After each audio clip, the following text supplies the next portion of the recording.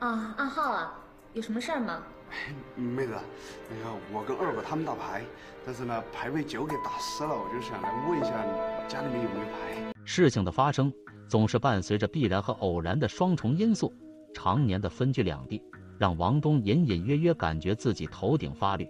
他躲藏在自家的厨房里打探虚实。他的初心是，倘若妻子守身如玉，就给他一个惊喜；倘若妻子不安于世，就给他一个惊吓。接下来一系列的机缘巧合，让他失手杀掉了欲行不轨的阿浩，又因为一系列的错误价值观，让他们选择毁尸灭迹。两人刚准备动手，就听屋外又传来了一个男人的声音，是同村的二狗，他来找阿浩了。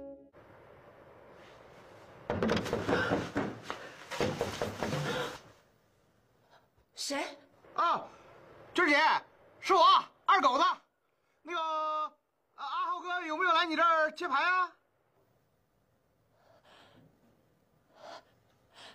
没有，没有。那他这死哪儿去了？两人此时就是惊弓之鸟，做贼心虚。将阿浩的尸体处理好后，王素娟开始了排兵布阵。她问王东回村时有没有人看见他。王东的头摇得像拨浪鼓一样。他本就是奔着不打草惊蛇的初衷回来的，自然不会有人看见。王淑娟心生一计，她让王东立刻马上返回城里，伪造不在场的时间。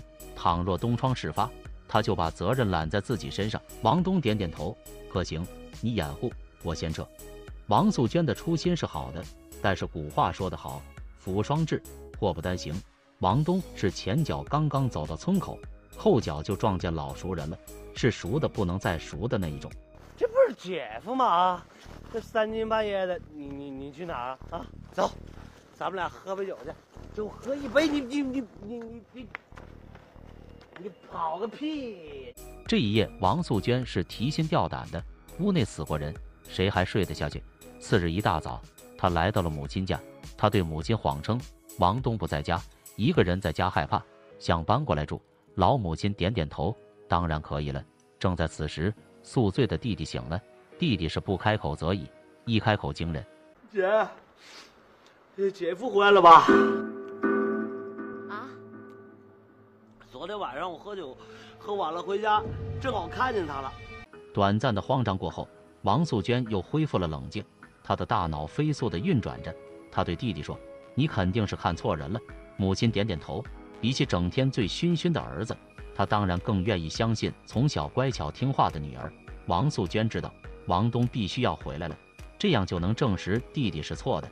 当天下午，他便给王东打去了电话。次日来了，不是王东来了，是警察来了。原来是阿浩的母亲找不到儿子，报警了。警方挨家挨户登门了解情况。王素娟的内心是强大的，她强装镇定，一套连贯的说辞让警方打消了顾虑。警方刚走出院子。恰巧迎面撞到了刚刚回来的王东，王东慌了，他的眼神闪躲，下意识就想转身逃跑。警方从背后叫停了他。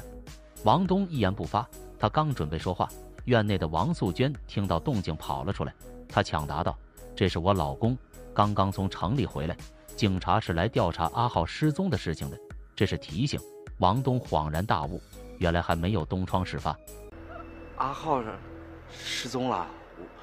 我我不知道，我以为我回来我走错家门了，你们我不认识。对，哎，是是，我们今年呃围墙新翻修的，我丈夫一年就回来一次，他可能不知道。对对。两名警察点点头，转身走了。外在的威胁暂时过去了，内在的威胁要暴露了。